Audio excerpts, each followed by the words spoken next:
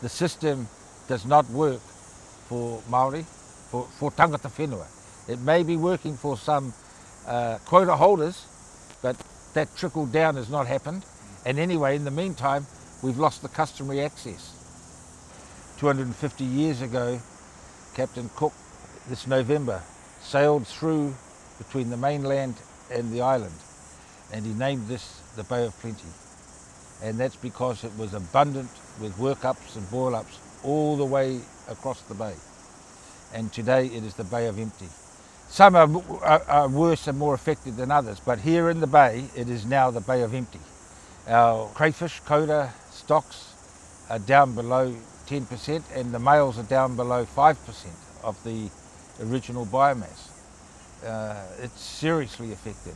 Snapper, likewise, uh, down 10 or 12%. And it's not just those individual species, it's the effect it has on the whole food chain.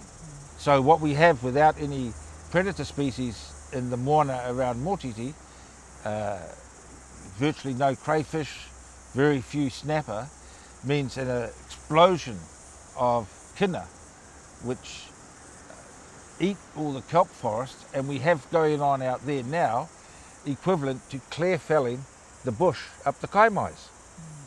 And it's out of sight, out of mind, and nobody's doing anything about it. If you don't have and aren't able to exercise kaitiakitanga, then you lose your mana.